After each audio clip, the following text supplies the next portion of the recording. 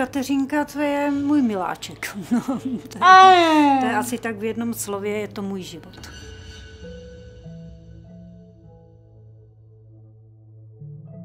Kateřinka se narodila zdravá a do osmi měsíců života se vyvíjela normálně, pak se ten vývoj zastavil, tak je vlastně plně na mě závislá. Tohle to je neměný stav, to prostě bude do konce jejího života. Já jsem si to obrečela a obstekala a pořád jsem se ptala, proč zrovna mi, ale to jsem musela prostě vypustit, jestli jsem Katce chtěla pomoct. Vlastně v podstatě všecko se dodnes podvoluje tomu, eh, těm potřebám, co má dcera.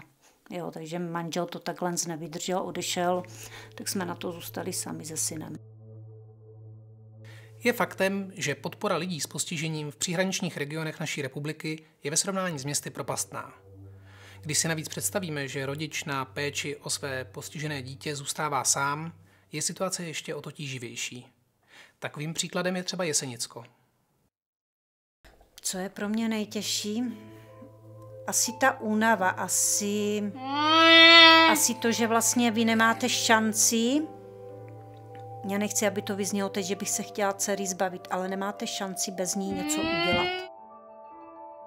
Jsou tady pečovatelské služby a služby osobní asistence. Velká ta část té kapacity je naplněná právě třeba lidmi v seniorském věku. Tím pádem jako nezůstává dostatečná kapacita pro ty rodiny s těmi dětmi. A je to skupina lidí, která se velmi málo dostává k té podpoře, protože ta kapacita je prostě zaplněná jinýma cílovými skupinami.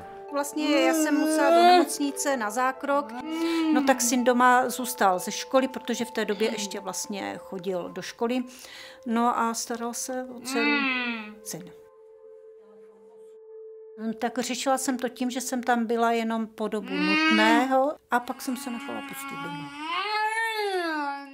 Vím, že, eh, že bych mohla si podat přihlášku do ústavu, nicméně za prvé tam je plno a za druhé, to já teda teď zrovna nechci teda vůbec, že jo.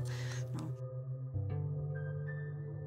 Je pravda, že stát tady na tohle nepamatuje. No. Bohužel nejsou alternativy, jak to naraz vyřešit, protože když najednou zůstane člověk sám, třeba v takovéhle situaci, mm. že eh, se někteří klienti můžou dočasně umístit i na, do nemocnice na LDNku, jo, než se jim něco najde, co si nemyslím, že je zrovna pozbudivé psychicky, protože mm. víme, že na té eldence jsou většinou už bohužel lidé před smrtí, tak to je. Mm. A, takže nevím, ten stát to vůbec nemá pořešené. Mm.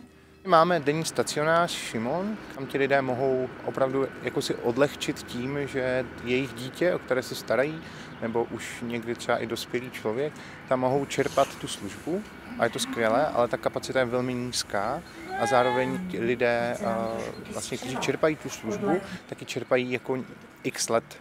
Jo, tím pádem jako nejde říct, že by se tam nějak často tvořila nová kapacita nebo prostor pro to přijmout třeba nové dítě. Ale nebudeme se zlobit, Rodiče si tak musí volit mezi trvalým umístěním dítěte do ústavu nebo náročnou domácí péčí bez možnosti odpočinku kvůli nedostatku vhodných služeb. A jakou pomoc nabízí stát? Uh, oni nám před 14 lety dělali výtahovou plošinu. Ta výtahová plošina už nefunguje. Buď si to musím tu opravu uhradit ze svého, což já na to nemám. A oni to prostě nechcou zrepasovat, že je to pro ně nákladnější, tak to máme smontovat a hodit do sběru.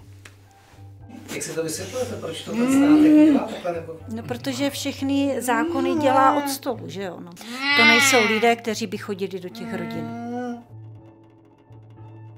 Bylo by asi vlastně super jako vidět to, jestli jsme jediný místo, který to tak má, ne? Myslím, že těch míst je víc a pak by to znamenalo, že ty pravidla jsou špatně nastavená. A proto myslím, že je strašně důležitý to, že v tom konkrétním regionu ti lidé ukáží tomu státu na to, co není vidět třeba.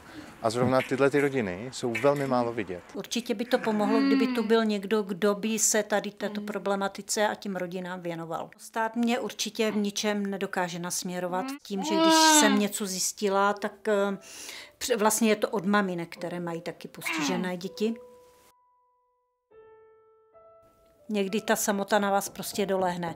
I přesto všechno, že máte rodinu, máte hodně práce, máte dceru, máte uh, kamarády, někdy člověk prostě se cítí osaměle. To je to jako nepopírám, že ano. Poštovní a směrovací číslo v dnešní době zkrátka nesmí rozhodovat o tom, jestli dostaneme vhodnou podporu a péči, na kterou máme ze zákona nárok. Stát by neměl nechávat v osamění lidi, kteří takovou péči potřebují.